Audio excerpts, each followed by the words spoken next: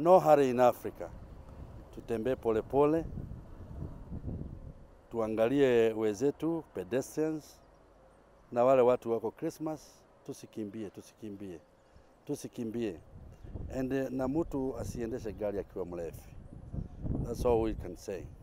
Thank you. May God bless you. Thank you. so that when we are on the road, we are taking care of other people and ourselves.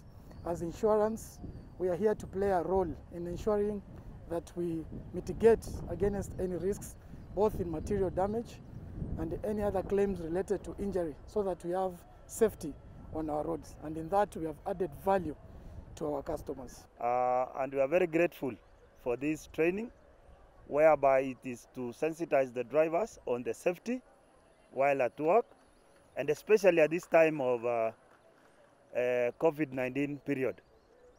So we have had facilitators from Kenya Red Cross, we have had facilitators from uh, traffic police, among others, in uh, mainly to cover an area of safety, performance, discipline, and how to work with other stakeholders in the road safety transport.